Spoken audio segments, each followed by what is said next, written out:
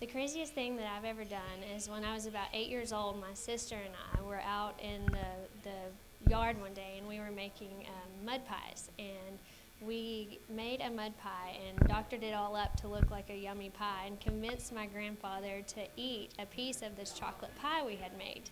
Well, he did it and he didn't think it as was as funny as we did.